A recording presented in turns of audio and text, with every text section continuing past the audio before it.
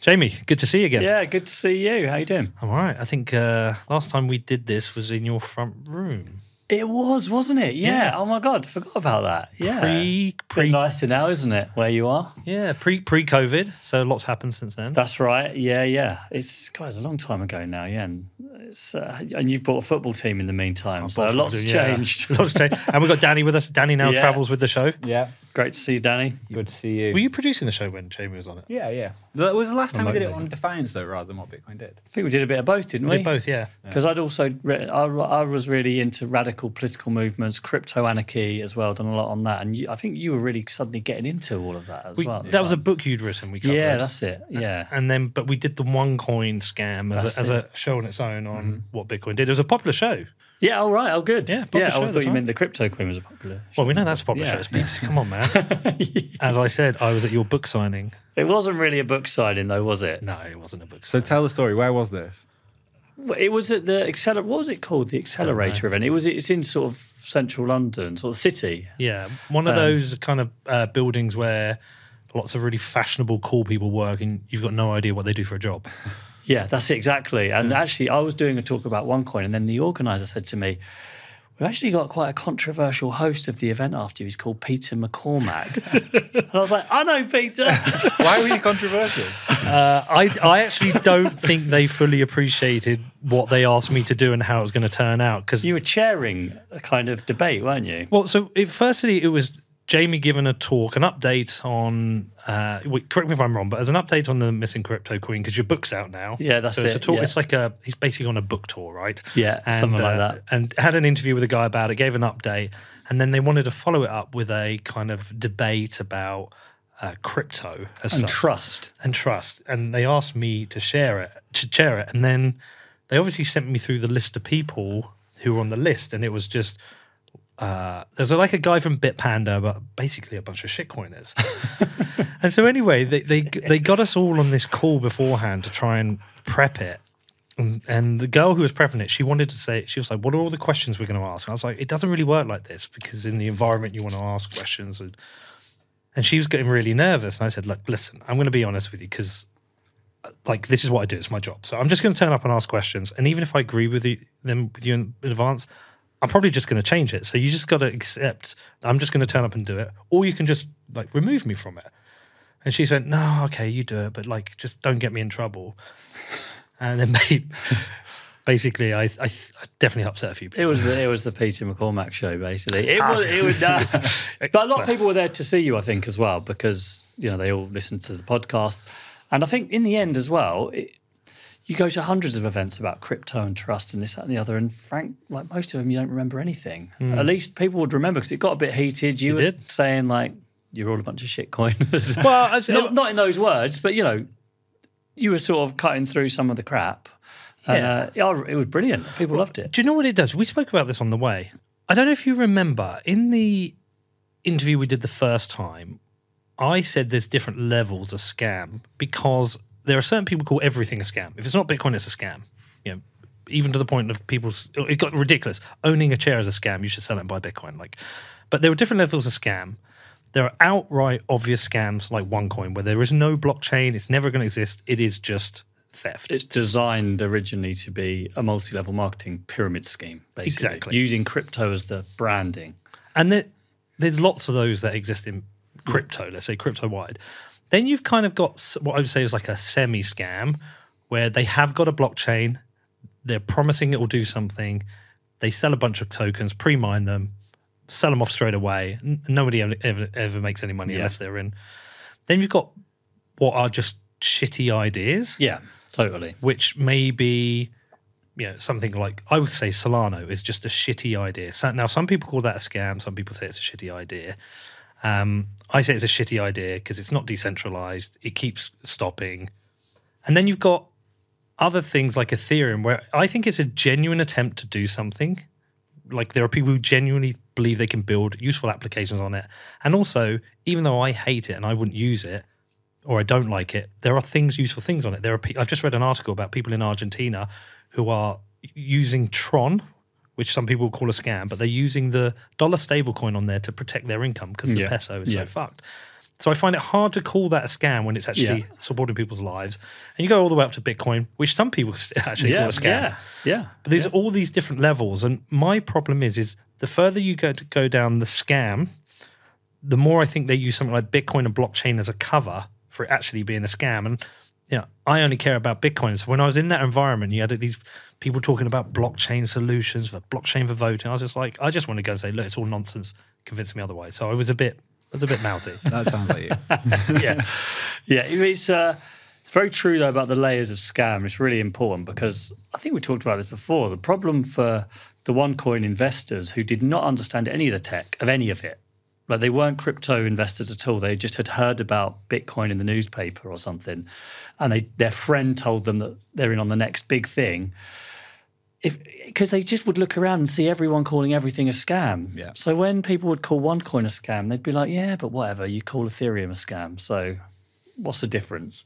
So that's why the language is quite important about like that's a pump and dump scam. This could be accountancy fraud, not actually really a scam on an exchange site. This could be, you know, a good idea, like you said, but that's or a bad idea, but that some people do believe in. That's not quite the same. So you you got to be really precise with the language on this, otherwise it ends up, unfortunately, sucking a load of people into actual scams. we were talking on the way because we re-listened to the last two episodes just as The a new refresher. ones. Yeah, as a Yeah. refresher. Yeah. And Frank Schneider was on there. Yeah. And you had that moment with him where you were asking Yeah. about how did he not know? Come on, this is common sense. Uh, and Danny was at that point in agreement. I said, "Let me tell you something. If I launched OneCoin, and I called up my dad and said, "Look, Dad, I'm doing this project. I need your help. Can you help me with it?" And he said, "Yeah." I said, "Look, I need a manager. I need you to manage my diary, you know, to book my hotels, to do all this stuff for me. Will you come and work with me?" My dad would say, "Do it," and I was, and he would probably travel with me and do those bookings. And even at the point where I could explain it to my dad, he'd be like, "Oh, that sounds great." And even at the point where things were in the say there was in the press things saying Peter McCormack's a scammer, OneCoin is a scam, stay away from him. And if my dad came to me and said, "What's this all about?" I'd say, "No, Dad, these people are jealous. Haters. They don't understand." the reason I'm increasing the supply by fifty to one is because there's massive amount of demand. And he'd be like, "Oh, okay, yeah, I get it." Now I'm not hundred percent sure I believe Mr. Schneider, but I I think you can get caught up in something without knowing you're caught up in something because it's so obvious to us because we have the knowledge. And the reason I'm saying this is that everything that happens with these scams makes my life as a Bitcoiner harder Yeah. because I'm trying to explain a tool which is used for human rights, it's used by activists, it's used to route around capital controls and authoritarian states, used by people uh, for me to pay uh, suppliers of them to pay me across bound, uh, borders. Also, some people to invest. There's like all these uses for Bitcoin. And more often than not, with everything that's happened, say now with FTX, you know, Celsius and Three Arrows Capital, it all gets lumped in together. Yeah, that's right. And trying to navigate that is a bloody nightmare. Yeah, it, it definitely is. I mean, the Frank Schneider interview was really interesting because for anyone that doesn't know, Frank Schneider, the Ameri- Frank Schneider is a former top spy for Luxembourg. He's a you know he's a top European Union spy. He was director of operations at SREL. And in Luxembourg, they do sort of specialize in a lot of financial crime as well, given where they are. So we're talking about someone that really knows how to spot deception. And he is in the process of being indicted by the Department of Justice in the US for his role in the OneCoin scam for money laundering and wire fraud. Wasn't wasn't he actually indicted today or yesterday? It was uh, a new indictment was Yeah. published. It, it was it was a superseding indictment. So he'd already been indicted. He was arrested to great fanfare in France. He's under house arrest at the moment, and then a new indictment for reasons I don't really understand actually why they put a new indictment out.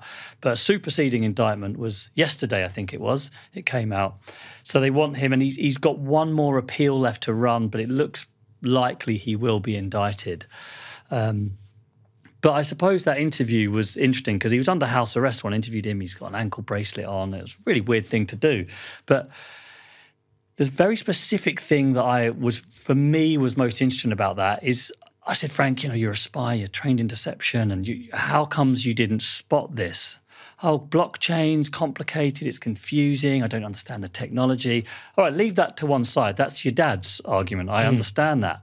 But I did say, not you're just you're increasing the supply by a factor of 50 because Ruja built a new blockchain and she increased the supply of a, by a factor of 50. She said the price is going to remain exactly the same, five euros 95, which to me, that would obviously that's real alarm bells. And he said, but it's all I don't understand any of the technology. And I just thought it's not really about the technology though.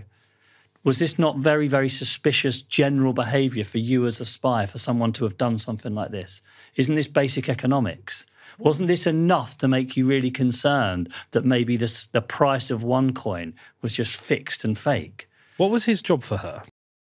Different people say different things. I mean, technically, he was brought in as a kind. He he ran a private intelligence company called Sandstone in Luxembourg. So he was kind of managing her sort of some of her security, some of her PR and reputational stuff. But he's often described by others as a sort of all-round fixer. You know, someone that sorted things out for her. I don't really know what that means exactly, to be honest. But it was just a good example for me of where sometimes people allow themselves to be baffled by the technology. They don't look at the fundamentals. I mean, it's a multi-level marketing company with a price that Ruja seemingly can just manipulate at will for a product that a lot of people are saying is fake. To me, that is enough for a professional person to say, I think I should probably step away from this. When are you a co-conspirator, though? You know, I'm trying to trying to see Yeah. both sides. I'm trying to trying to be Yeah. as most charitable, charitable as I can to him, Yeah. because to me, she's obviously the master criminal, one of maybe a few master criminals. Now, if his job is security Yeah. and he's arranging their security, and there's an announcement Yeah. about this increase in supply, and he just doesn't read it because he doesn't care.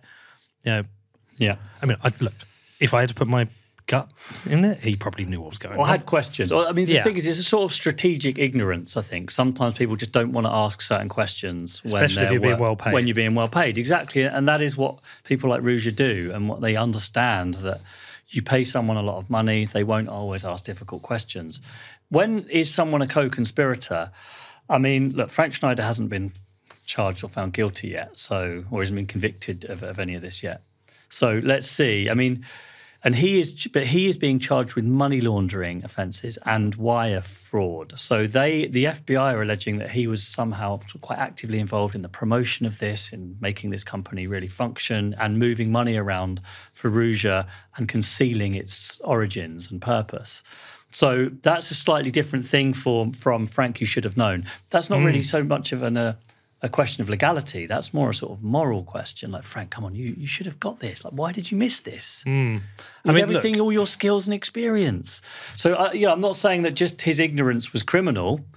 There are other charges that he's got, but I think in law they talk about known or should have known. Like with the weight of evidence and the information you had, you should have reasonably known what was going on. Hmm. But I'm not a lawyer, so I can't really answer that properly. I mean, my suspicion is he knew or he was being ignorant, but I'm just more intri- interested at the point you become what you're doing as criminal. And I guess, like, if you're moving large amounts of money around, you have to be aware of it, aware of where it's coming from and where it's going to. Yeah, and that's a separate thing, isn't Yeah. it? That's the sort of money laundering charges. And that is, in the case of OneCoin, that seems to be what the Department of Justice is most interested in. They don't really seem to go after the top promoters, the people that have been pushing OneCoin and selling it to people all around the world. But they've gone after Ruja's investment manager, who they've done on money laundering charges, Frank Schneider. They're going after him on money laundering charges. They really. Her brother? her brother money laundering and Hmm. fraud. He pleaded guilty to, to those charges. So they really go after the money launderers in these things. I mean, they see their role as upholding the integrity of the financial system, don't they? Do you So- think there's a possibility it's that th- these are the people that will give them the best chance of getting to her and one may roll? Well, the, yes, definitely. I think the general thinking on this is that her brother, I mean, at the moment, they've got her brother, he's pleaded guilty. They've got her lover, he's pleaded guilty and works with them. Her investment manager, he was found guilty, although he's um, appealing, he's asking for a retrial. Her co founder of OneCoin, Sebastian Greenwood, he is awaiting charge at the moment, he's awaiting trial at the moment. Um, and now they're going after her senior advisor, Frank Schneider, this Luxembourg spy. These are really the sort of top people. It's just her. She's the only one left. But the big thing that's happened since we spoke is that that the FBI put her on their 10 most wanted list, which shows they really do want to get her. What was it? A five thousand dollar reward, which no, that was the Europol. Yeah. Europol put her on the Europol put her on their top ten most wanted list or their most wanted list. They don't have a top ten. Their most wanted list, and then about two weeks later, the FBI puts her on their most wanted list, and but they offer a hundred thousand dollars reward. When we saw that five, we heard that five thousand dollars, well, five thousand euros, we're like, huh? Yeah, that's a bit weird, isn't it? But the thing is, that even the hundred thousand dollar reward from the FBI is an interesting number because they know, like, if she's being protected by some wealthy oligarch, they know hundred thousand dollars isn't going to mean anything. Mm. What I think they're going after are people that work in the ports in the in the Mediterranean, the people that work in the shops that might have spotted her, the people that work on yachts and boats, you know, the catering crew or whatever, people for whom hundred thousand dollars would actually make a real difference in their lives and would be enough for them to basically quit their jobs and disappear for a while. So that's why I think they've chosen $100,000. I asked the FBI about it because I interviewed them for it.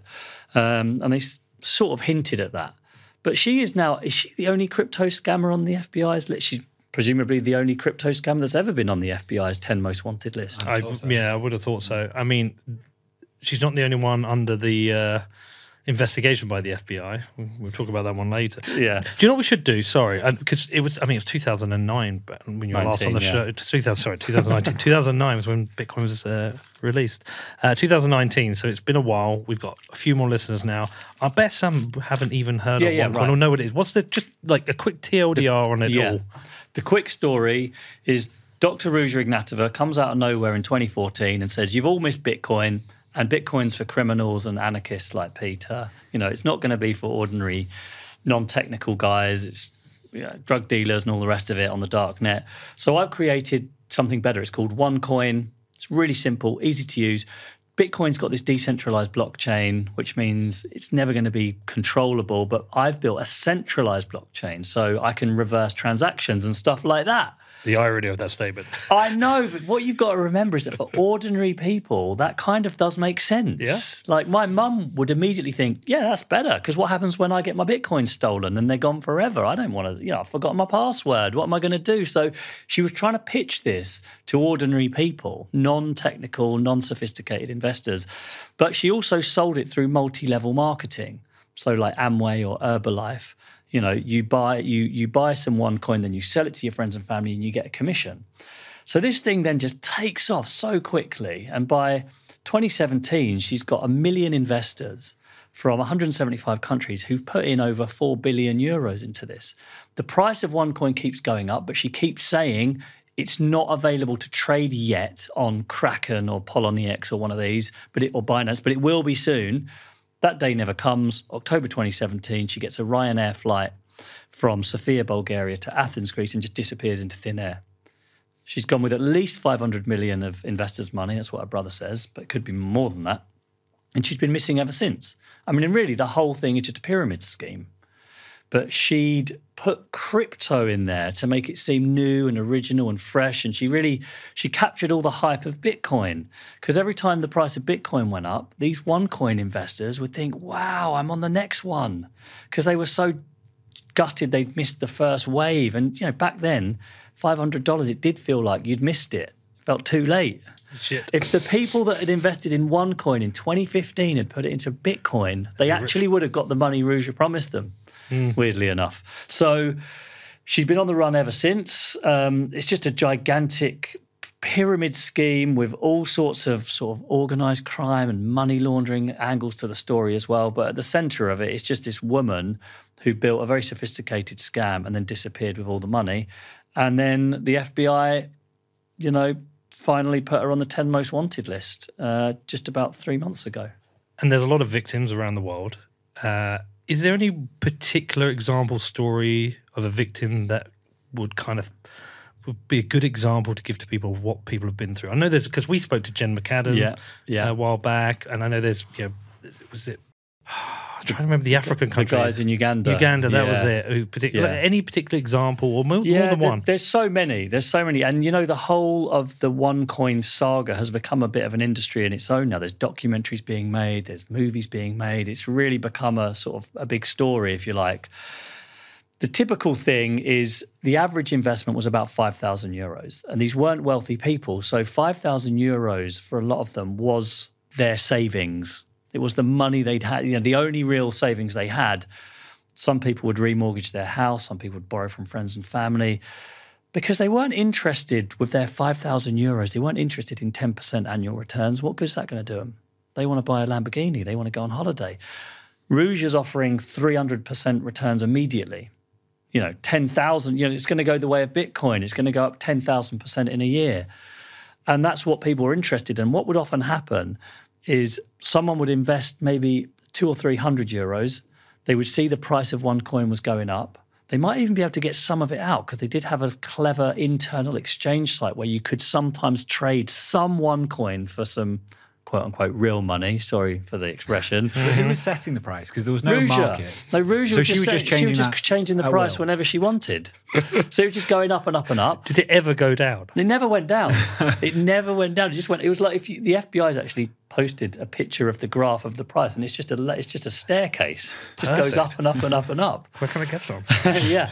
So, um, but typically, and this was why people like Ruja are, are brilliant students of psychology more than technology. that they would, they understood that if you can give someone a small payout, so their 100 euro investment did turn into 500 euros and they got that money back, they'd immediately put 5,000 euros in straight away and that'd be gone for good. So they were very clever, and I, I heard that over and over and over again. I mean, in Uganda, the guy I spoke to, Daniel, he'd, he'd sold his goats to invest it in OneCoin. His mother had then put her life savings, two and a half thousand euros, into OneCoin. I spoke to a former winner of the Eurovision Song Contest in uh, in America, where she was from Israel originally. She'd invested. Um, I can't remember if it's tens or hundreds of 140,000 or thousands. something, Yeah, yeah. hundreds, of thou- hundred and something thousand dollars. Her husband, her, you know, the money that she got after her husband died. I, I've even heard of people with, P, believe it or not, PhDs in finance that have invested money in OneCoin. A doctor from America invested nine hundred thousand dollars into OneCoin. You know, so it's everything from a very, very poor person in a rural village in Uganda. And when I was over there, I'd meet people. Everyone had heard of OneCoin in Uganda. It was so interesting because like, there's a real hype about crypto in those places, and sometimes it was a bit sad. All, all the exciting hype and the laser eyes and all the stuff that was going on here, you know, behind that, there's some victim in a small village in Uganda who wants a piece of the action and has lost his life savings of 500 euros. So it was uh, it was tough, yeah. And you know the weirdest thing is this month, OneCoin events are still taking place. So I've got this on here. I've literally here. Is it still being sold? Yeah, it is still being sold. Who's selling it for who? They have rebranded it as the One Ecosystem, so they've got a new name for it. There was there was meant to be an event in London this week, Monday just gone, but a load of the victims contacted the people that were hosting the event somewhere in London, and they got it cancelled. In some ways, So I'd rather it went ahead to go and see who's involved. Yeah, I wonder actually. Yeah. I was actually hoping to, to go there myself, but So it got who's they? You say they are still selling. Who is Do it? you remember I was had a weird phone call in the season one, like the first season, with this guy called Cameron High, who I phoned him up and he started calling me unprofessional and all the rest of it. Oh, maybe. You probably wouldn't. Yeah. Yeah. He's still involved. He's still pushing it. Other former promoters are still pushing it around the world. And and often see what okay, so it was it was being marketed in 175 countries. So in places like Thailand, they're still hosting big events. Like the regulators aren't doing anything about it. It's not really being stopped. So you can kind of the FBI can stick Ruja on their list, but over in Thailand, it's still going ahead as normal. But are, are these uh, like separate entities who have got individuals who are exploiting it, or is is there still a funnel to some Yeah, top? both. Both. It's both. See, I think both things are happening. So- So one ecosystem. So it's kind of decentralized now. Ironically, why it's so hard to control. Ah. so there is still a head office, the same office in Bulgaria, in Sofia, Bulgaria, that's still open. The one ecosystem, they're calling it, like I said. Is this the website? Yeah, that Do you- looks like it Do you to know me. the crazy thing is, it says our cryptocurrency was designed for regulation, not speculation. yeah, On exactly. the website. Yeah. do you know what that sounds like? What's that? BSV. Yeah. It is because that's what the BSV people started promoting. Start, and, and I think I'm okay saying this. Uh, one of the things that Craig Wright was been pushing is that you can, like, you should be able to return coins to people. Like, uh, your Yeah. private key isn't finality. Uh, Yeah. It doesn't prove ownership. So that's that's something Yeah. that they push too. Wow. Yeah. Well, so so there's there is still a head office. There is still that going on, uh, and money still funneling up the pyramid to the people at the top. But I also think that out in like a small village in Uganda, you'll still have promoters who are just going around knocking on doors, village to village, and saying, "Hey, "Give me some cash, and I'll give you some more. I'll send you some more, and I'll I'll I'll open an account for you on the website, but we'll make it between us." So sometimes when you cut the head off a pyramid scheme, it can carry on because promoters can carry on exploiting people by using cash and sort of word of mouth. I wonder if someone's even created like a, a OneCoin token. Uh, maybe. Have a look because I wouldn't be surprised because it'd be very easy to create that as well. Yeah. So, God, there's so many places to go with this. Uh, so they still have an uh, an office in Bulgaria. Yeah. Why have the Bulgarian authorities not closed this Okay. down? Well, I can speculate about this. Yeah. Because if you've if you've heard the last episode of Yep. the podcast, we find that Europol meetings where the Americans and the British and the Germans and the Dutch and the Bulgarians and the Dubai police were all there sharing information about OneCoin. They're investigating OneCoin. This is before she disappeared. The, the meetings from those minute from the, the minutes from those meetings, the PowerPoint slides from those meetings found their way to Ruja within days of those meetings happening. So we speculate that one way that happens is through Bulgarian off officials at those meetings were somehow getting that to Ruja. So you, you're whispering it. We're just going to turn it up when we release it. just got to be careful with my words. no, no, be careful. And look, Um, if you need someone to check it before it goes out, Yeah. we're okay with that. But you see, so it's it's that. So that's that. It sort of suggests that Ruja is very well connected in Bulgaria, and we sort of know that all along. But it's very mysterious how and who and exactly in what ways and who would be behind this, because it's kind of well documented that Bulgaria is the most corrupt country in Europe. okay. Critics say most countries have a mafia. In Bulgaria, the mafia has a country. You know, it's quite a well known place for organized crime and the government where they're quite intertwined. Corruption's a massive problem. And I think the general belief is that Ruja had corrupted police officers, had some form of protection there. And it's possible that that is why it's still open, why it's still in operation, hmm. because I don't understand it myself. Why they haven't just shut this down and arrested everyone. Yeah, it feels like at this level it would need to go a bit higher than police officers, though. Yeah. Yeah, it's not just about individual police officers. I mean, hmm. there's all sorts of allegations that I can't really repeat because Yeah. it's, it's, do you know why? It's, it's so hard to stand up allegations against named individuals when it comes to sort of rumors of organized crime and stuff. Hmm. Because you, no one talks, no one tells you anything. This is one of the reasons our investigation into it's a little bit stalled. Like, because we need to go to Bulgaria again. And I'm pretty worried about that given the last thing that we reported on with this Europol thing has caused a bit of a stink over there, apparently. It was in all the news about someone in the police is leaking Europol things to Ruja, and there was pressure mm. on the government, and they weren't answering questions about it. So I've got to now turn up there, and they'll see when I arrive on the flight list. And I'm thinking, well, what's what you know, what's going to happen? How So many people were in that room? Do you know in that Europol room?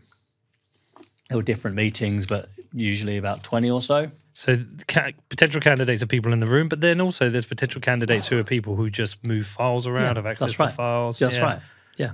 Yeah, very mm, okay. So But you know, it's, it just make it just makes it again because we've always wondered like why is Ruja so confident? Why did she disappear just before she was about to get arrested? Well, she was having access to these meetings. See, the the organized crime part of it is interesting. I've got a few questions about this for you, but one thing I keep thinking about is is she in a position where she's now buying protection? And even if that is a case, at the point where you've bought protection of very kind of scary and dangerous people, Yeah. does there come a time where they then own you? Yeah. and you know she needs to be kept protected and maybe it turns to where it's an exploitative relationship with her it's like Yeah. no give us the money I know.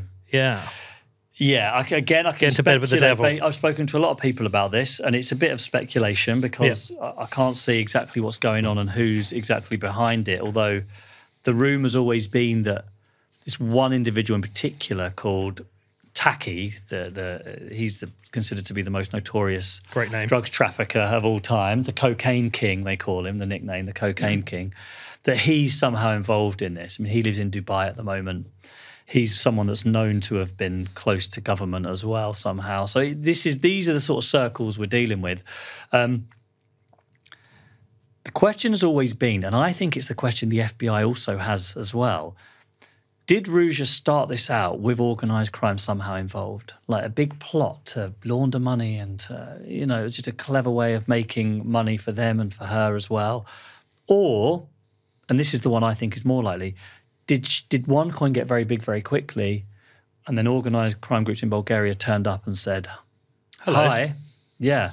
How about we run your security now? And how about you launder money for us? And in exchange, we'll make sure you're safe. That to me feels more likely knowing Ruja's background and how OneCoin started. I think that's what probably happened. Right. And then those would be the people that would help her disappear. But she'd have to keep paying them to keep her protected. And I spoke to someone the other day about this, saying she's now on the FBI's 10 most wanted list. I mean, does this not mean she's more of a liability for people that might be protecting her? because if they're looking for her, they might find other things. Well, yeah, exactly. Now the FBI have really got their heart on it. Like, because once you get on the FBI's 10 most wanted list, the FBI don't want to be made to look stupid. Like, they don't put people on there unless they think they can find them. They've got a strike rate of about, I think it's over 80 or 90%. They Wow. find most people because they put, I think they put them on there when they know they're going to find them. Hmm. So, because otherwise, why would you put someone on there that you'll know you'll never get? You look stupid. Hmm. So, suddenly the FBI are nosing around and all the powers that they've got to do that, it gets harder to keep someone hidden. And again, like you say, like the people protecting her don't really want the FBI snooping around their business. But if there's So- no new money coming, so Well, so I'll just say that Yeah. he said it just will get more expensive for her. yeah, It's not that they would get rid of her; she just has to pay more.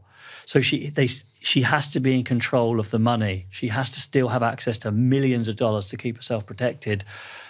And that is going to get harder and harder and harder to do, I imagine, with the FBI now really onto her. So I don't know. There's a lot of rumors around. There's mm. rumors that she has been killed. There's rumors that, you know, I, I my last theory on this was that she was floating around on a boat in the Mediterranean, off and on land.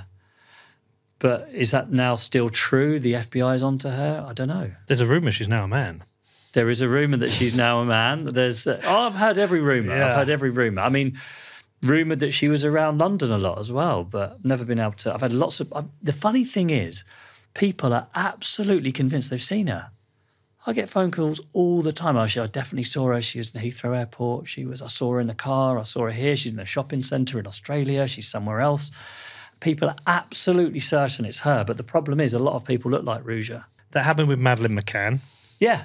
That Yeah, happened yeah, with yeah. Tupac. yeah, happened with Tupac, Tupac. Yeah. you know that Yeah. happens. And Lord Lucan before that, I guess. Yeah, the, although the the Aston silver Aston Martin with the number plate was kind of interesting, Yeah. but the- on the, on the organised crime thing, Yeah. and you might not want to talk about this, so if you don't, I understand. But how much consideration do you have to make for yourself right now? Yeah, I, I, I mean, I feel like I'm in quite a difficult position with this because I I really want to get to the bottom of this story, obviously, and I feel like there's a lot of expectation for me to do that. Know, I'm lucky that I've got had millions of people listen to this podcast, are interested in the story, reading the book, all the rest of it, and, and they look to us to be the ones that are going to solve it. But I don't want to get myself killed for it. Hmm. You know what I mean? Like I don't, I, as much as I want to find her, I don't want to end up See, I see it slightly differently. Like, like as a mate, I you know want you to be okay, and I want you to keep doing good investigative journalist work. But at the same time, I think the only reason for you to keep doing it is to create more entertainment for people. But like, this is now in the hands of the right people to solve it. We've got the resources to do it. So I don't think you should feel any obligation Yeah. to carry it on. It's not an obli- It's not so much an obligation. I, I guess I feel very lucky that that so many people want to listen to our investigation. Yeah. and there's a part of me, obviously, having done it for so long, I just want to see it resolved. Hmm. If I'm perfectly honest with you, it's a bit frustrating for it to be up in the air all the time, like constantly hanging over me. Where is she? What's happened to her? I would be so happy if I got a phone call tomorrow saying the FBI have got her. You can, it's over. Mm. And I can go to America and sit in on the trials, watch them unfold, and I don't have to worry about it anymore. And I can, I'll move on to something else. Mm. But all the time it's out there and she's somewhere, I feel like it's, it's sort of annoying for me. Dedicated so much of my life to it, I can't really just easily walk away. So I'm trying to walk the right, you know, walk the tightrope. I'm not just going to walk away because I'm scared Yeah. but I, I, there's probably places that I'm not willing to just rock up in Dubai, start banging on doors. No. It's 'Cause it- unnecessary just- risk. Yeah, exactly. Yeah. So we're trying to figure it out. I mean, at the BBC, you've got great security advisors, and they'll say you probably shouldn't go here, but you probably are all right going there. And so, going back to Bulgaria, for example, it's a bit risky, but the way I see it with organised crime groups, and I don't really want to, I don't actually want to investigate organised No. crime groups. I don't. I just want to find her. Yeah. And they're like in the way of that. And so I don't want to, I, I like, if you're listening, organised crime groups, I'm not interested in you lot. Just tell, tell me where she is, and that's the end of it. Yeah, this show's actually quite popular in the uh, uh, underworld of Bulgaria. Right, that's good to know. Yeah. She might be listening. Well, it's only criminals that listen to Bitcoin shows. Yeah, of course. yeah. So the um so like for example, part of the thinking is organized criminals are are very very clever business people. They're not stupid. It would be more trouble for them to get rid of me. Wouldn't want to do it. It'd be hmm. idiotic. And they're smart people, so they probably will leave us alone because why would they want to draw more attention to themselves? So you think, okay, well that's good. That's quite safe. So I feel confident with that. But it, yeah, it's a bit. I mean, it's a bit nerve wracking. Hmm. Have you received any threats? Nothing, nothing serious.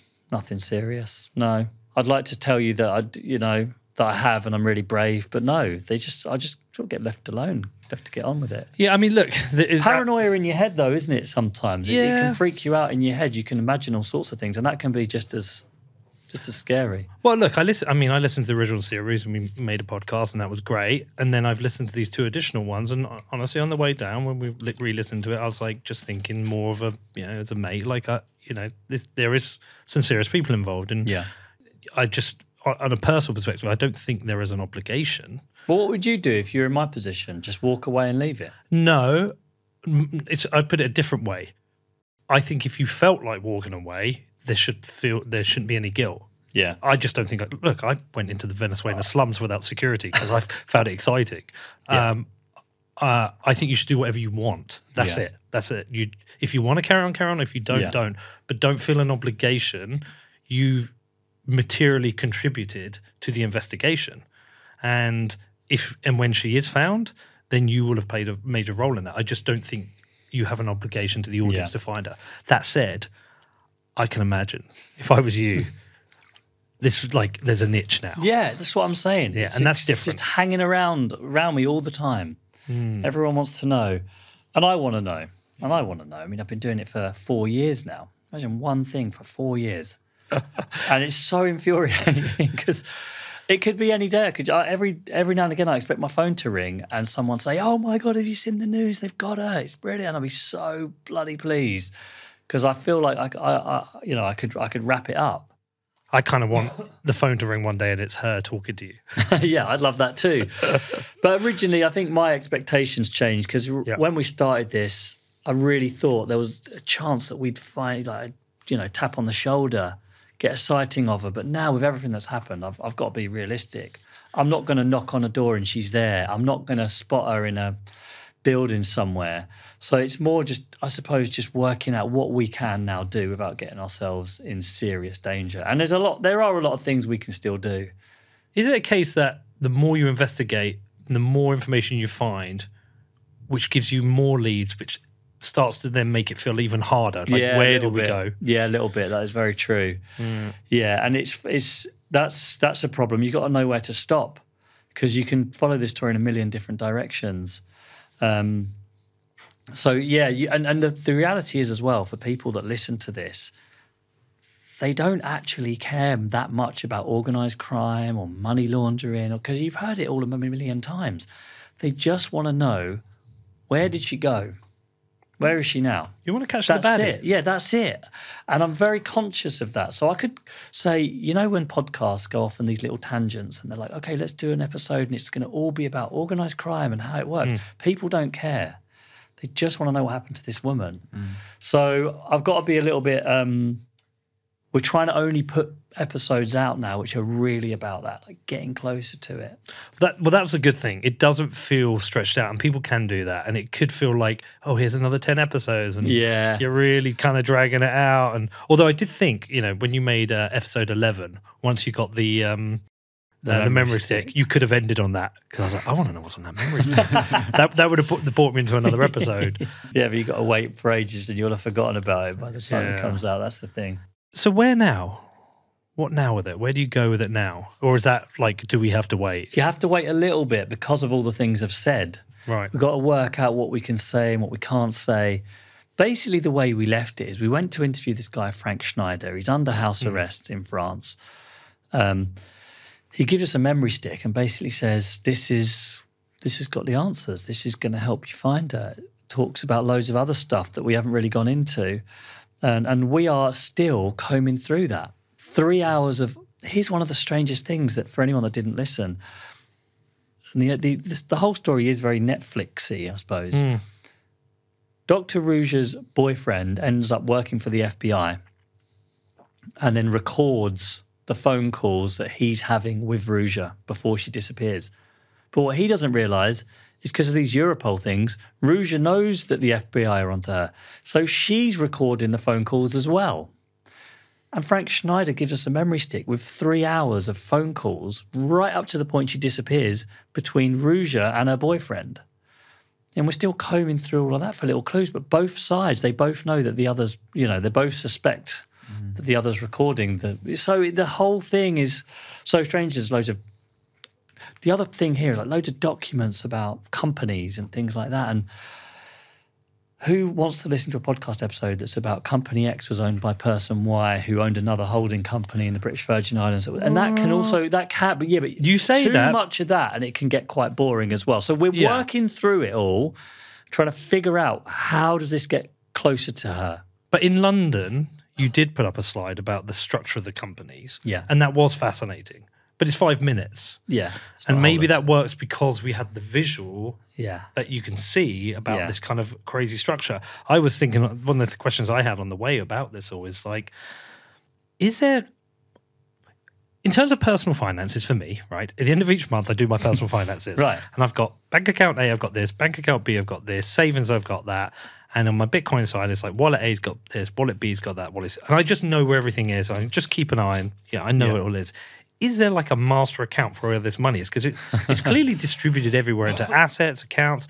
And if so, who manages it? Or is it separate? Like, I'm really intrigued to how she's managing the flows of those money, the flow, flow of that money and the pots of that money.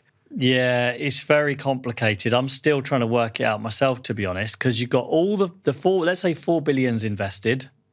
I calculated that about a third of that went back out in payments to the multi level marketers Ah, okay. because you got commission payments. So you're getting your 10% for every OneCoin package that you sell. So she had to come up with a very clever way of paying tens of thousands of people every week the money they'd earn from selling OneCoin packages to other people. And did she pay that in dollars or was she paying that in OneCoin? She paid that in 60% fiat and 40% OneCoin. the whole thing's really complicated.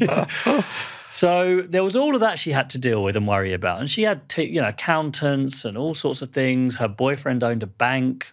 And I think the boyfriend's bank was providing credit cards, but it's all very, very complicated. But then there was her own personal wealth. So she's buying houses in Sofia. She bought properties in Sofia. She bought a 13.9 million pound Ken- Kensington penthouse. She had bulletproof Lexuses, all loads of cars. Then she had four $100 million British Virgin Island regulated investment funds. And the OneCoin money that the investors are paying in was ending up being disguised as investments from wealthy European families into these British Virgin Island investment funds, which were then going to buy other companies that Ruja ultimately owned, but it, none of it was in her name. And this was the way that she was turning some of the OneCoin money into sort of legitimate investments that she owned. And then she owned houses in Dubai. According to Frank Schneider, there's a billion euros still out there in bank accounts in China, in Dubai, in Australia, and I think South Korea. But I can't just phone up like the Chinese. I mean, so there's that you hit a brick wall when you're following the money. I know that's the journalistic adage, isn't it? Like follow the money. Yeah, but when you, I can't follow it everywhere. So we're piecing it together and we're finding things here, there, and everywhere. Like I think she may have done something with online casinos in Malta. Uh-huh. But you hit a bit of a dead end. I think she put money into a Luxembourg trust fund, but you hit a dead end. You can't get past it. You can't see anything more. So you piece together little things here and there, but more often than not, you just kind of you you hit these like on paper owners that are, you know, very commonly she would have a, a lawyer would own it for her. Yeah. So the person that was technically the owner of her London family office was a 27 year old Cypriot woman and a former manager of Pizza Hut, also from Cyprus, who were registered to an address in Dubai. And they were the owners of her London family office. Where am I going to go with that? I mean, firstly, why don't what a Companies House in the UK do about that? That's so dodgy looking. Mm. She like this multi-millionaire crypto genius, and it's a Cypriot a Cypriot Pizza Hut manager who's the owner of her family office in London. Come on, but just no one does anything about it. Well, that's why I'm wondering: is there like a master accountant who's running the back office of all this, who's run, running the money flows, who's managing the lawyers? Well, the guy, she was actually quite famous for trying to manage everything herself. Oh, right. But she okay. was very, very clever. I mean, she did she did work in finance for years, and she got PhD in law, and and she's really, really smart person. But her her American lawyer investment manager Mark Scott, who was convicted for this, he was the one running those British Virgin Island investment funds. But then she would have had someone else doing another thing over here. She had some lawyers dealing with her property. She had someone dealing with her, her online casino. She had someone dealing with her Sofia House as a different lawyer. She must have employed at least 10 lawyers in different countries who some of them were dealing with this some of them were dealing with that so she had she had to kind of have a view on everything but she had lots of people working for her managing the day-to-day stuff and why uh, are you, you interested in what you're going to do with all your money then I mean, no, but like I mean, I have a very simple life. My finances are quite simple. I still have an accountant and a lawyer to help me out with it. Yeah. but it's my super simple, and I'm just thinking it's like oh the stress of it the Well, the stress difficulty of it. yeah Well, so uh, no, because I'm trying to think, uh, like, if you want to get away with it, one of the things me and Danny were talking about the way down is like, if you're her, is it is it actually is this exciting and fun, or is it just constant stress? Like, is there an excitement of being on the uh, FBI's most wanted list, getting away with it, and are you just living this high life of parties and a yacht and people protecting you, and you got your two fingers up, or is it constant stress? And, oh i think constant stress but uh, so I, then, I, I, th- I think I think at the beginning, all the early parties, and she had loads of parties. Tom Jones sang at a birthday party in London, and then she had Bebe Rexha singing at a birthday party in Bulgaria in 2017. You know all these amazing cars, and she had a big yacht, and you know she was really was living the high life. But she then had a daughter in October 2016, and she disappeared one year after. And I think the moment she had a daughter, it- it Changed changed. things. But she, it was stress. It And was is, is her problems. daughter with her? I can't go into all that stuff. Partly because I'm not sure. I don't think the daughter's with her. Right. But I I really avoid too much talking about the daughter because the daughter's just an innocent Yeah. party. I mean, it's, it's public record she had a daughter, so I'm not saying anything super private. She talked about it a lot, but uh, my suspicion is, and from talking to people, that might have changed it from being cool and fun and exciting to just being unbearably stressful. But it was like too late by then. could could she also have exited in that she's got almost like a private version of witness protection? She's gone and bought an ID, a location, and she's just disappeared. And Yeah, we she's definitely about. done that. I mean, she's definitely got ID. She's definitely got all of that stuff. But what I mean is that there's a version where she's still in the kind of like shadows of maybe Bulgaria and hiding Oh, out there. Maybe she's gets get a private jet to Dubai occasionally, and she's got the still they say, people- or she's completely disappeared and gone to some people and say, "Here, I got 500 million. I want to escape with 10, 15 million.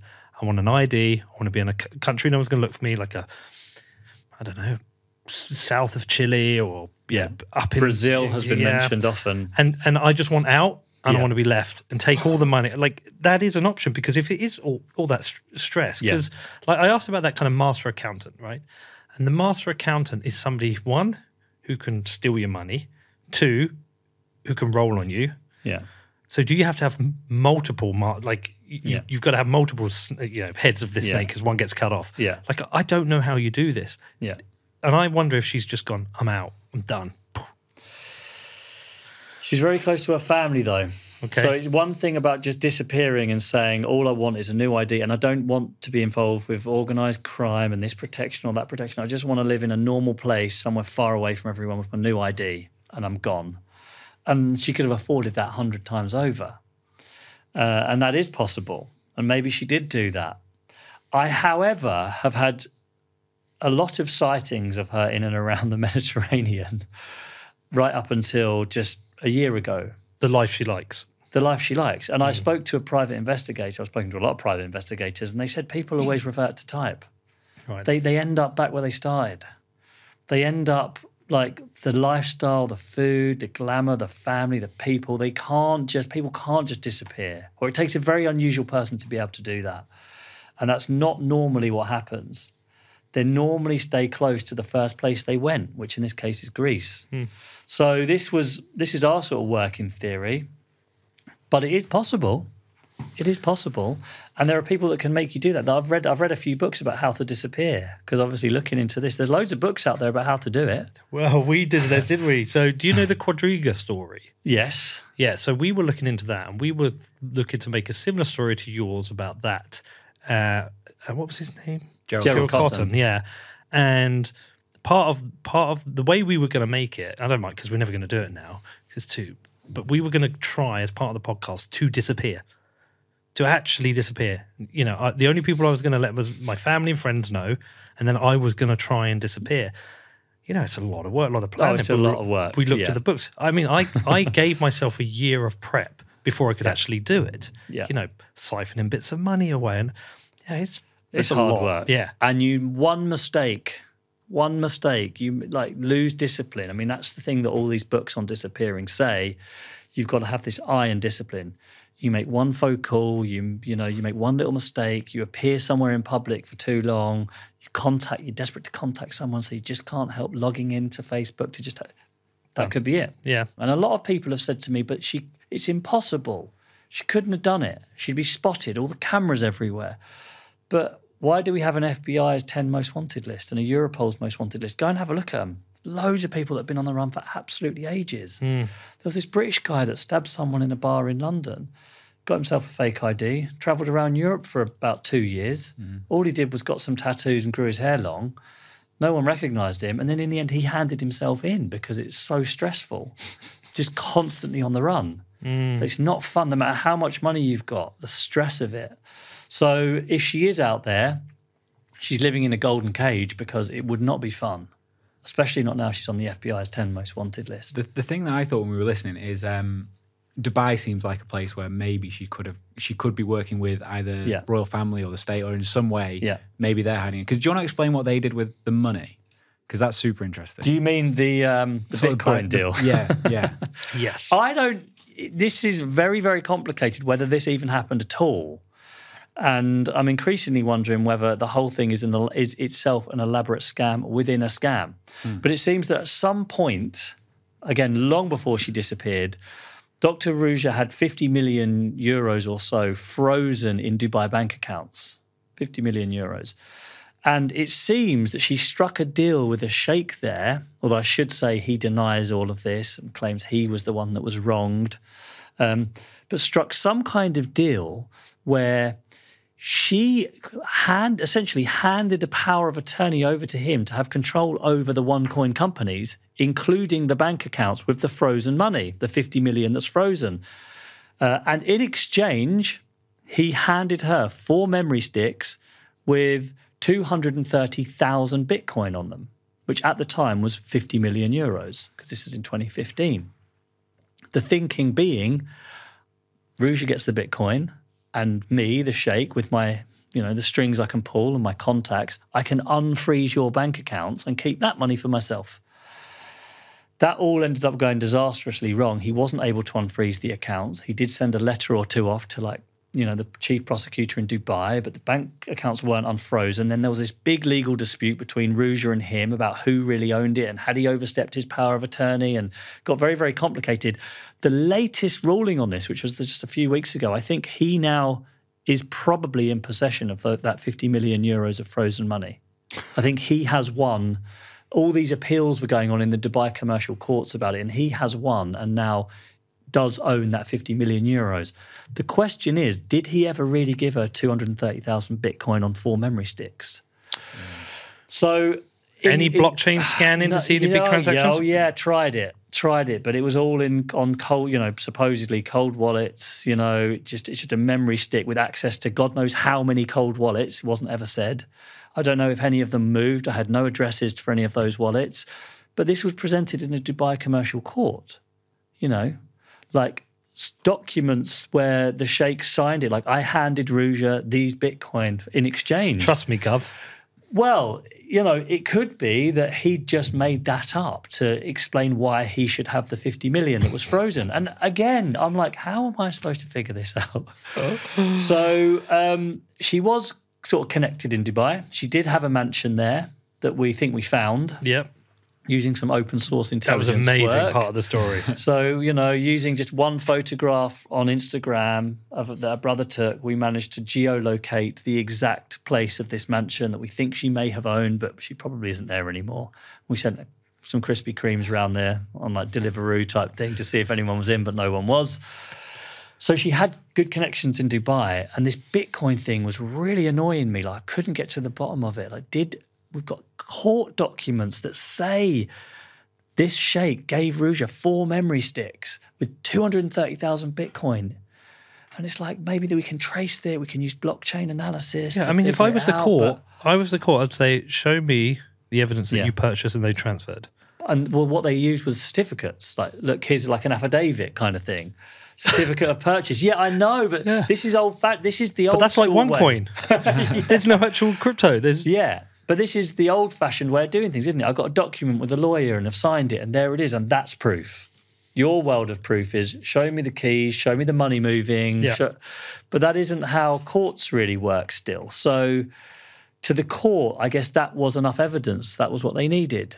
And it, it comes down to these interesting questions about trust. Like, why do you trust a blockchain analysis or do you trust a lawyer's letter, you know, that's waved in the air at you?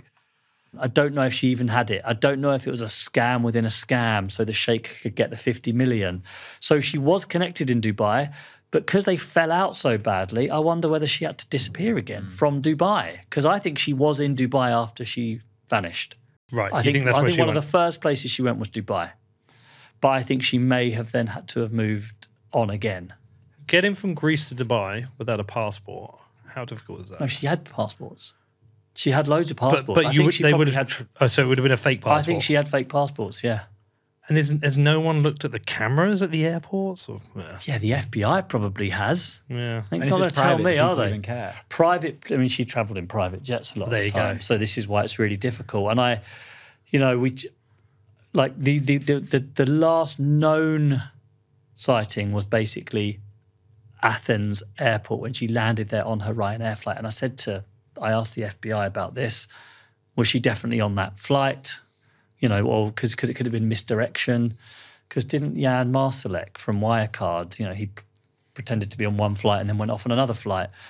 And they basically said, no, we can't tell you, but we are pretty sure she was on that flight. Let's just say that. Mm. So we know she was there, but from that point, it goes a little bit cold. Now, I'm sure the FBI obviously has information that I don't have about what happened then. And if you look at the country, look, if you look at the languages that they've translated this FBI notice into and the countries they've mentioned Albania, Greece, Dubai, Eastern Europe, Balkans, Germany they're all places that were kind of on our radar as well. Mm. Do you have a board at home with pictures and bits of string that you stand and look at and go No, crazy with? people just do that in the movies. You didn't wanna yeah, do that? did- they- I did want to do that, but I made it as a podcast, didn't I? So what was the point? The thing that was a massive red flag for me was that the last text message that I think she's known to have sent, I can't remember who was that to. To Frank Schneider. and so they, he they used to speak yeah. in German, and then the last text message was home safe in English. Yeah. That seems like a huge red flag.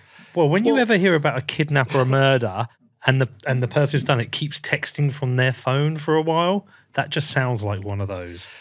Yeah, the thing is, it's what's always difficult about this is do I trust Frank Schneider? Hmm. Was that true? Like every the funny thing about this story is you never really know who you trust either. It always comes back down the whole thing about cryptocurrency and Bitcoin to bring it back to your hmm. it's trust. Why do you trust the things you trust? Like, why do you trust money? Why do I trust Frank Schneider? Why do I trust the legal document in the court? Why did OneCoin investors trust Ruja? like Ruja had letters from lawyers. Frank Schneider trusted that. Why did he trust that more than the blockchain? I mean, and it's like everything is about trust in this story and why you trust certain things. And it, it does you head in a bit. Like, do I trust Frank Schneider? Is he lying to me about that text message for some reason? I don't know. I can't see the text message. Never, never showed it to me. Are there times where you've kind of got really then well, you must have got very frustrated, feel like you don't know where to turn, and like the whole thing's just becoming like a big Yeah, jumbled that's how I feel at the moment. Oh, you ha- you do. Yeah, yeah, I do. Um, and the, the the the I got two things in my head. I mean, one is like, how do I make this into a story? How Yeah. do I tell a story? Because that is what I do as well, isn't it? I'm this. How do you draw a line through the chaos of this story? So, a listener, and this was always aimed at. I hate to say ordinary people, but the whole purpose of us putting this podcast together was for non-Bitcoin people to listen to it and think about it and because you know how many people get scammed you talk Yeah. about it all the time Yeah. how many people in the uk hold crypto assets 2.3 million or it's more than that now that was the last figures how many of them understand it really properly Not many. not many I mean, I don't, and I've got a show.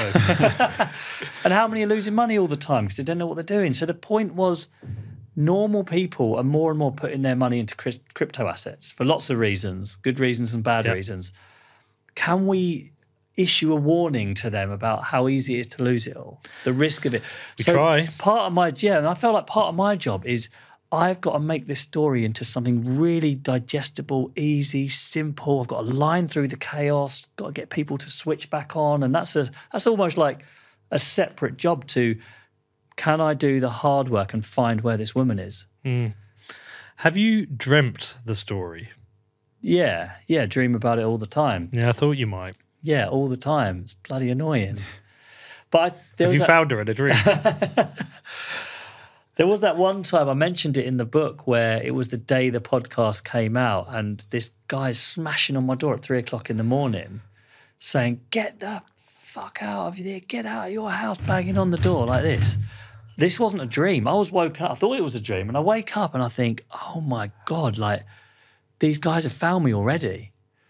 What am I going to do?" So I, I like to the one. This guy's banging on the door. Get the fuck out of the house! And I'm like, "Oh man!" So I phone nine nine nine. So I don't know what to do really. And I'm actually explaining to the police like that I've just released a podcast for the BBC and I think that they're onto me. And these guys are like, what are you talking about? Ask him what he wants. So I'm like, what do you want? Uh, he's at the wrong house. and that just made me so paranoid for the next so many months. So um, that was the closest thing to an actual dream because I, I thought I was dreaming for the first couple of minutes. I was like, what is going on here? But you know what dreams are like? They never help you. Never No. actually give you a clue. It's not like in the movies where you get this sudden waking up and a connection's formed in your brain between information A and B. It's never happened like that. No, I think it's more of a signal of, of how deep you are in a story. Like Yeah. if you dream about it, I like I know, like after my mum died, like this period, I just dreamt about my mum all Yeah. the time because it was consuming me. Yeah. Yeah. When I got divorced, I used to dream about my ex-wife because it consumed me for a Yeah, period. And exactly. when something's consuming you, it starts to populate your dreams. Yeah. And I just yeah. didn't know if you're that deep. Yeah, I am. I mean, to be, if I'm honest with you now, it's been so long that I, I have started doing other things. You know, I've had started doing other things as well because you've got to. Like, you don't get Yeah. paid that well being a journalist. Let's be honest. Mm. So, I've had to do other things as well, and and it's and it's it's not as all consuming as it was. It goes in waves. Like when we've got new episodes we're working on, it is non-stop and you become obsessed and you see Ruja everywhere. And the danger is when you're writing these stories like me, you get really obsessed with little details. I've got to get to the bottom of where that $100,000 went or what that one person did. That's most people, for the storytelling element, don't care. And you've got to try to remember that. So the problem is when you're obsessed with a story, is you get in the weeds and you lose like what's more important sometimes, which is like what's going to make people carry on listening to this. Hmm. What's the big thing? And I, and I've always found it really interesting. Like I know the story inside out, and I'll go and talk to people about it, and they'll come up or they'll come up to me and say, "I love that story about that missing woman. Yeah, that she's like that Bitcoin woman, wasn't she?" And I'm like, "Oh, you'd like this, Peter." I said, "No, no, no, not not Bitcoin. No, but it was it was one of them, wasn't it? It was like Bitcoin or something like that." And I'm like, "Oh man, the level that people actually engage with these, it's so superficial compared to what you think." Yeah. So you've got to keep it so simple and so basic a lot of the time. Well, I had it recently. A friend got in touch. She was like, "Listen, my boyfriend's involved in a Bitcoin scam. Like, I don't know what to do." And she, uh, I was like, "Well, just send it across to me. And I'll have a look, and I can talk to her if you want." She anyway sends me the link. It's just, it's like a OneCoin. It's just another scam like that. No mention of Bitcoin. None of it anywhere. But she was convinced it was a Bitcoin scam. Yeah. It had nothing to do with it, which it does again makes our life so much harder. Yeah. Because she automatically thinks Bitcoin is a scam. Yeah, yeah, yeah. I know, and I, I did try in the podcast to really make that distinction. Yeah. But the thing is, like, the problem I sometimes have is every event I go to, someone says, "Yeah, but Bitcoin's a Ponzi scheme," because new investors are just getting getting fleeced by the old investors, and, and they're paying they're paying the old investors essentially because hmm. they're you get on a, you get in early. There's nothing of any value and you just the old investors are selling to the new investors at a massive profit. What's the difference? So then you know, try and talk about that and why it's different. Yeah. But it sort of drags you down, doesn't it, Yeah. a little bit? You don't get onto the interesting stuff. But the thing I find most frustrating is the number of emails I get from people who say, My brother's been involved in a scam, my sister's invested in a similar thing to OneCoin. Can you please look into it for me? And I can't. I can't. I, I- it's enough to do one crypto scam and focus on that. I can't look into all of them. But it makes me think that the police, that people don't bother going to the police. Hmm. They're going to journalists saying, please, can you expose this scam for me? Because my brother, Feel bad now. yeah, but yeah, it's, it is a difficult one. Like, is it your job to do it? Yeah. A little bit, maybe, sometimes, given your position. But it's hard work to try and expose scams because it took me a long time to figure out what was going on with OneCoin. And that's a really simple scam. Yeah. When people say you need to go and get into Tether, you need to look into Tether, you need to look into this one, you need to look into that one, I think I just my head hurts. I think I'm never going to figure it out. It's too complicated. Yeah, God, yeah. I mean, we get asked all the time, uh, and there's a, there's certain ones we want to look into, but you know, you, sometimes also you you got to be very careful of the. Yeah, we talked about this beforehand. I'm not going to get into this now, but there are you can end up in lawsuits Yes. if you call something wrong, you know, and which is a really dangerous position to be in because it can. I mean, certain lawsuits can destroy your life. You have to Yeah. be very careful. even if not just financially, like mentally, Oh, it's mentally, stressful. And and it's like unfortunately, people do use the legal system to silence critics, whether Mm-hmm. it's crypto or anything else. And that had stressed me out a lot with the OneCoin story as well.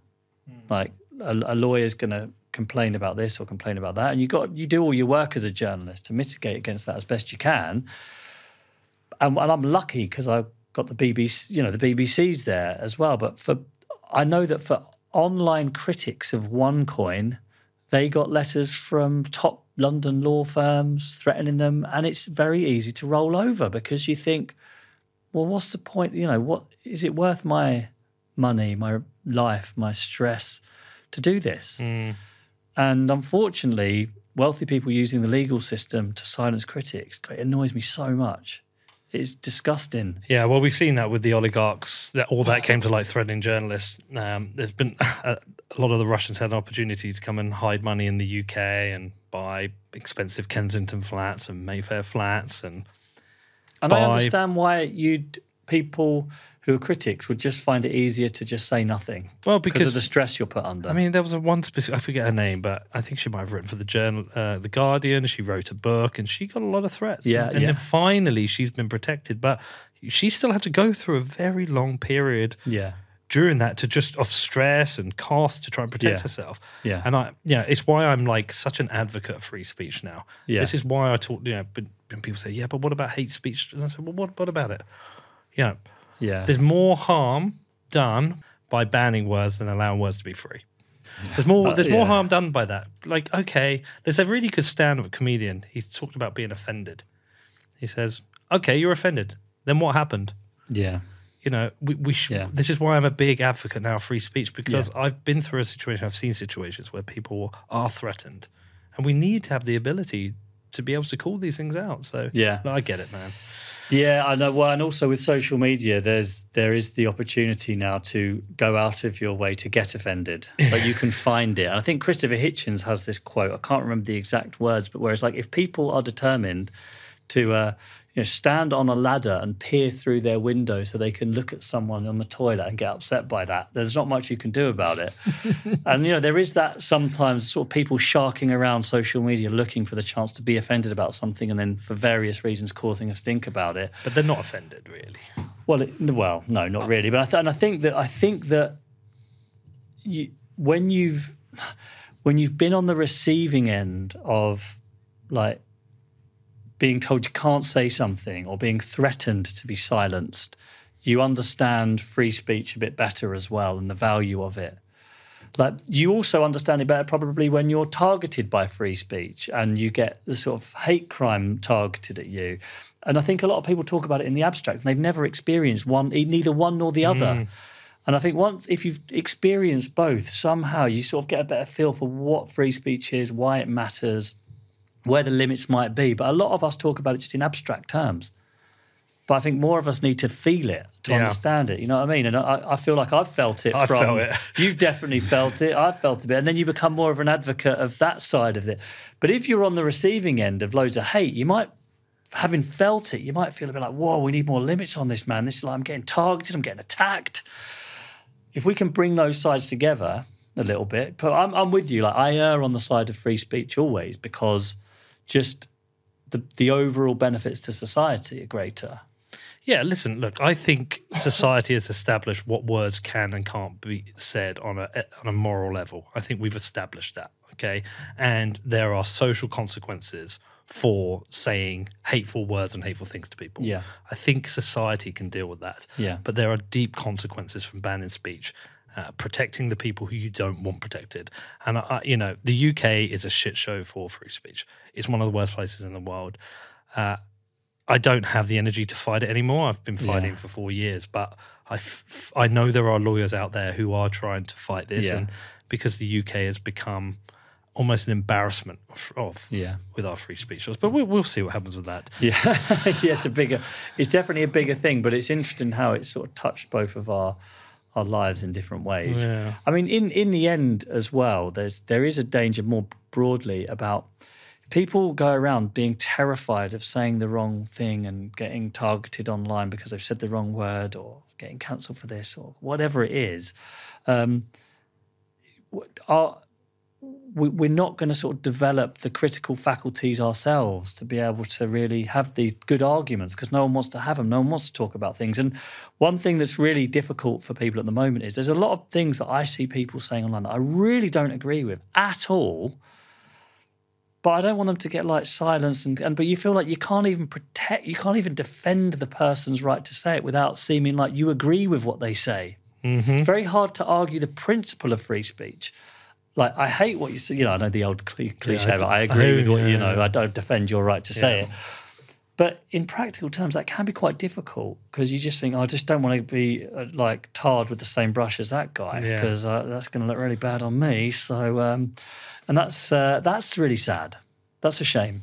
Well, it's it's Anyway. the adapting to a world of social media, which is a whole other That's a whole other conversation thing. we can do that I another have time. actually written a book on as well. I know you That's have. everything. We- we- I think I think I interviewed you about that. Yeah.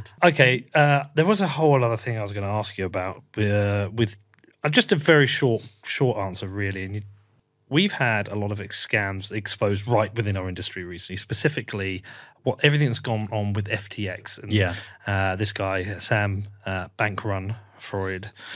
Bank, bank run Freud. Uh, Yeah, That's the. well, actually, it's, it's- scam, scam, bank run Freud, or scam, bankman Freud. Like, there's all different versions, but I like. He's got uh, a good name for this, hasn't he? yeah, it's all like I saw a great meme on online, and it was a bunch of lizards, and they're going, "Yeah, and we'll call him the Bankman."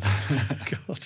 Scam bank run Freud. But oh my I, god. I doubt you've been able to avoid seeing it Yeah. and seeing yeah, yeah. what to me is not far off um, uh, one of the largest Ponzi's that's ever existed. Not far off Yeah. what Bernie Madoff did. Uh, Yeah. Which even if it was incompetence, a lot of it, it it's still you've got yourself in a big hole.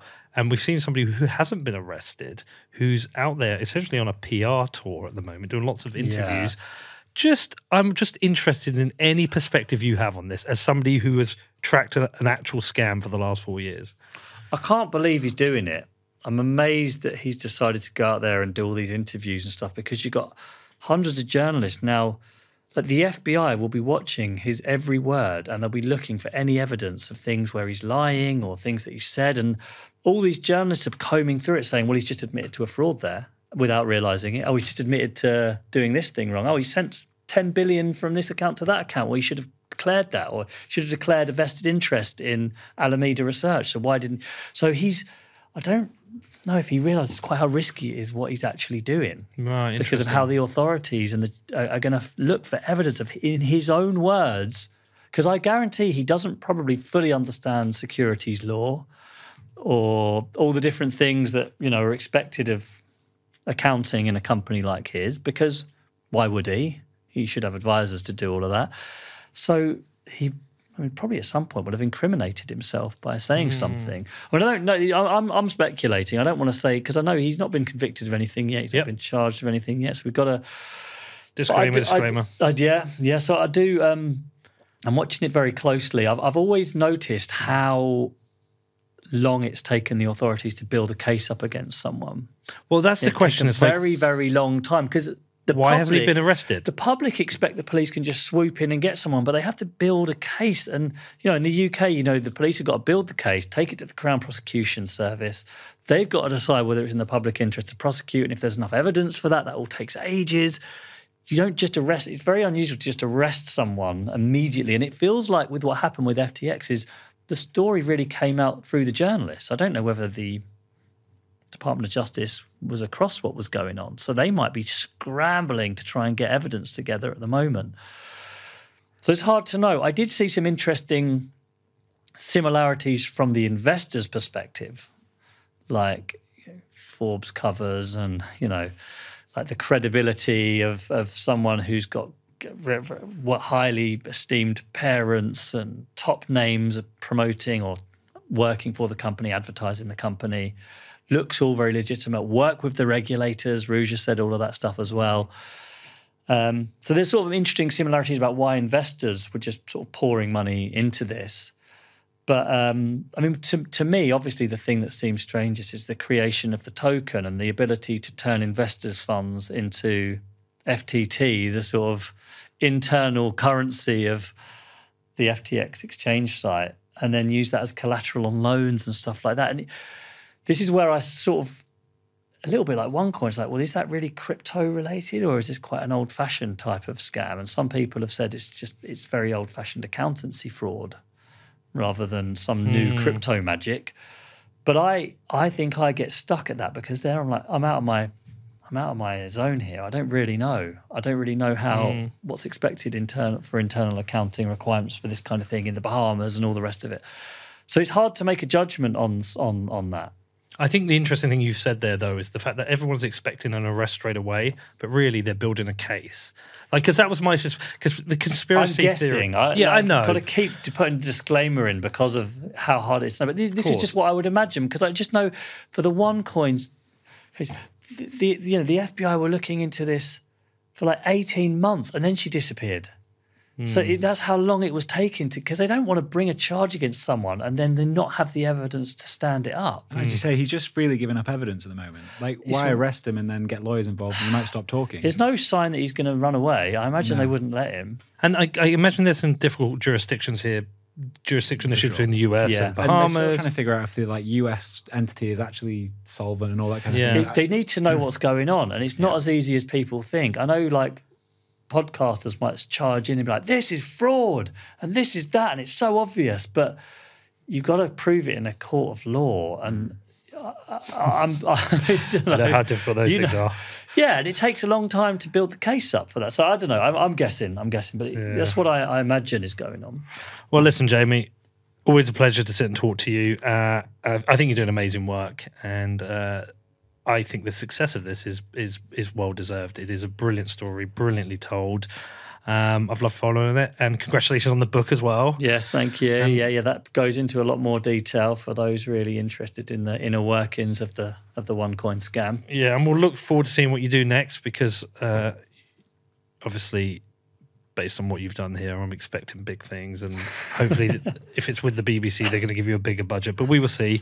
But listen, congratulations. If anyone listening wants to find out more about this, where do they follow the podcast? Where do they buy the book? Yeah, How you can get the you? book in the usual places, and the, for it to be honest, the podcast in the usual places. So they're both called the Missing Cryptoqueen, and um, yeah, and, and similarly, I'm I'm looking forward to uh, an invitation to the to a football match soon Hey, to see. Bedford FC.